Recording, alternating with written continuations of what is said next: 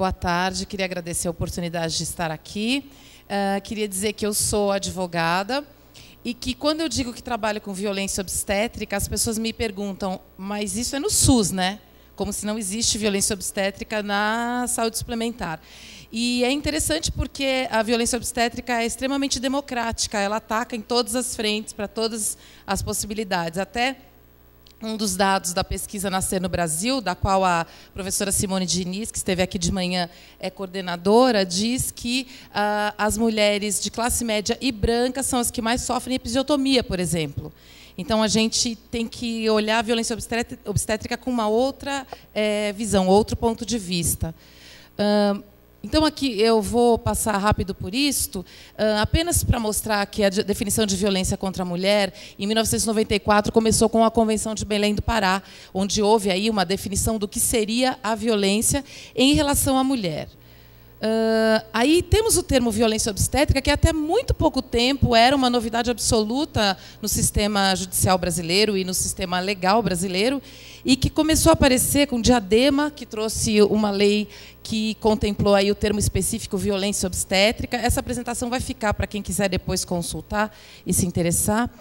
Depois foi aprovada também em 2013 em São Paulo a lei municipal que não fala tanto de violência obstétrica, tem um pouco de, de, de viés do, da decisão do médico sempre ser soberana, mas que já é um avanço, fala do parto humanizado. Existe o projeto de lei estadual em São Paulo também, que é quase idêntico ou idêntico a essa lei municipal. Em Ribeirão Preto, temos o substituto ao projeto de lei uh, que fala do Pacto Municipal para a Humanização da Assistência ao Parto. E em Minas Gerais, a gente sabe que parece que foi aprovado, eu não consegui apurar isso e consegui o número da lei, mas há um projeto de lei também falando de humanização de parto. Então, legalmente, com a gente sem desconsiderar as questões de Constituição que falam do direito é, à privacidade e os tratados internacionais que falam do, do direito à integridade física, à integridade corporal, privacidade, a gente tem essas leis específicas falando hoje de humanização de parto e violência obstétrica no Brasil. Eu trouxe aqui alguns relatos, mas eu não vou ficar lendo relatos para vocês. Né? Eu queria, sim, é, destacar o que mais é, chega para mim. Esses relatos todos são de clientes minhas que estão ingressando ou já ingressaram com processos é, na justiça para obter a reparação de violência obstétrica. Né?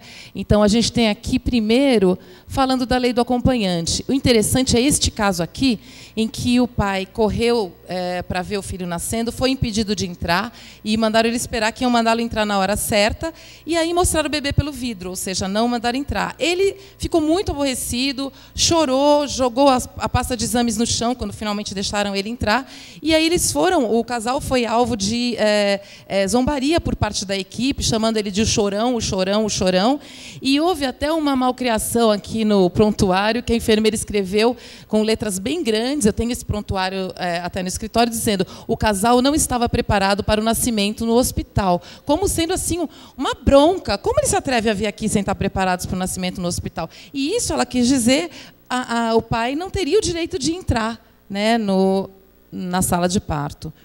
Ah, então, aí a violação da lei do acompanhante, a gente tem a lei específica, 11.208 é, de 2005, ah, fala que é acompanhante é aquela pessoa indicada pela parturiente, ponto, homem ou mulher. Tá? Uh, Pós-parto imediato, às vezes as pessoas me perguntam o que é isso, é até 10 dias após o parto. Então, ela tem direito ao acompanhante o tempo todo que ela ficar internada no pós-parto. Uh, tem que destacar também, os, os hospitais falam muito, ah, a gente não tem onde colocar o acompanhante, mas eles tiveram, os hospitais tiveram seis meses para se adequar à lei. Eu sei que isso, em termos de orçamento, é difícil, mas precisa se virar. É lei tem que respeitar. Então, desaloje outro lugar, mas precisa se adaptar à lei. É lei.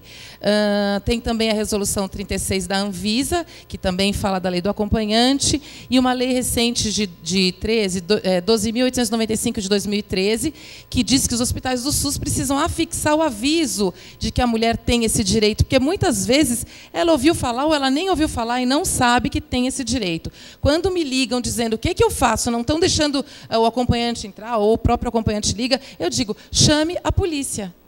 Para garantir que o acompanhante entre é, até a hora do parto, o que se pode fazer é protocolar uma notificação no hospital de que vai haver o acompanhante e com é, o silêncio ou a negativa pode-se entrar com uma ação, tentar conseguir uma liminar, o que a gente já viu em mandado de segurança até em, no Espírito Santo, tem uma advogada fazendo isso lá, para garantir a entrada do acompanhante. Mas se não deixarem na hora, ou você chama a polícia, ou você não faz nada e depois procura reparação na justiça. Tá?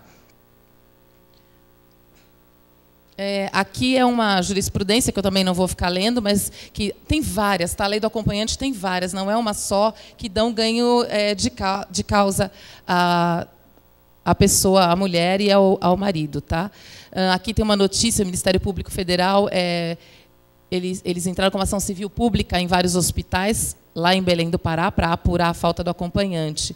Aqui a gente tem outros relatos, né, uh, onde no primeiro caso o médico entrou no pós-parto, no quarto da mulher, ele tinha houve uma fratura no crânio do bebê por uso de fórceps, é, comprovado aí por tomografia, e ele entrou com um artigo, uma parte de um artigo científico dizendo que era muito comum fratura de, de crânio de bebê em partos. E que não era para falar muito para ninguém não, porque os pediatras eles eles pegam muito no pé, isso podia dar confusão. Tá? Esse é um, um caso de São Paulo, é, que o bebê teve sequelas. Essa outra de um hospital escola, onde ela foi exposta, foi feita episiotomia sem consentimento.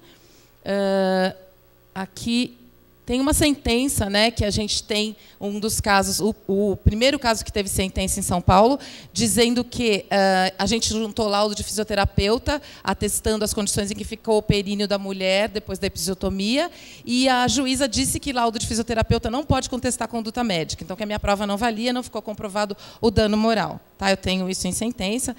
Então, assim, o que a gente percebe também é que falta informação para o judiciário entender o que é parto, o que são evidências, menor ideia, tá?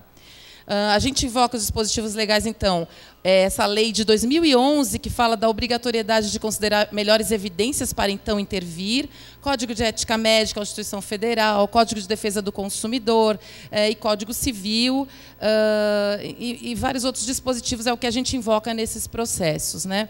Uh, então, aqui uh, é um outro caso de violência obstétrica que vocês podem ler o relato. Eu estou correndo porque a gente está em cima da hora aí. Uh, isso aqui é uma cesariana, indução de cesariana, aquela primeira também. Então, os dispositivos legais que a gente invoca nas cesarianas desnecessárias estão sendo todos os já citados e mais é, esses artigos do Código Civil, falando que eu, eu concordo com a cesariana, mas se eu sou enganada pelo motivo com, é, pelo qual eu concordei com aquela cesariana, esse ato jurídico da minha concordância é anulável, porque ele foi fundado em erro. Então, essa é uma das teses que a gente está usando hoje para os processos. Nós não temos julgamento ainda, estão todos sendo marcados mais para frente. Aí, no decorrer do ano, nós vamos ter esses outros julgamentos de cesárea. É, mencionamos o Código Penal também.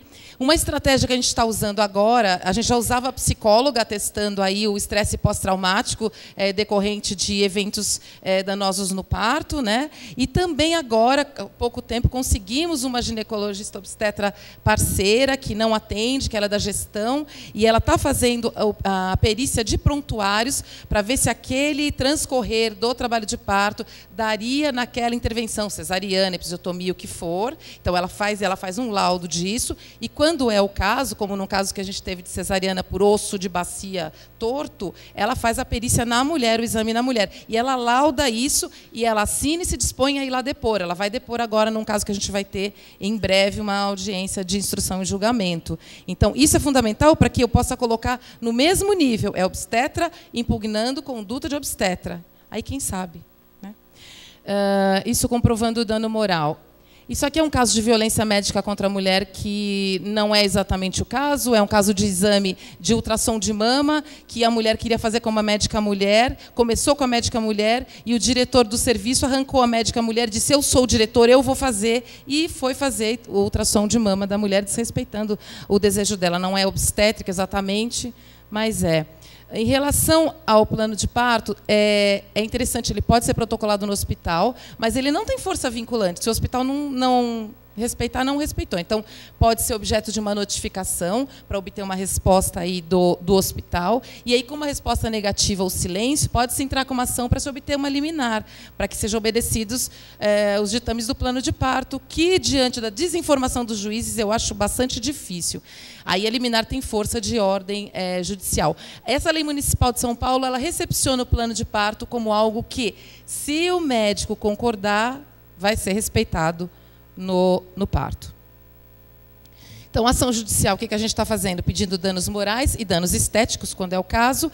Procuramos ingressar no juizado especial cível, porque as vantagens são a falta total de custos, é, é gratuito na primeira instância. A gente pode pedir inversão do ônus da prova, alegando que o autor não tem condições de provar aquilo, porque se trata de questão técnica, então que quem tem que provar que era necessário é o médico. Uh, agora, a desvantagem é que a apreciação por parte do juizado especial é muito superficial, eles não vão a, a, a, profundidade do caso. Se precisar de perícia durante o processo, é mais complicado, o juiz tende a não dar.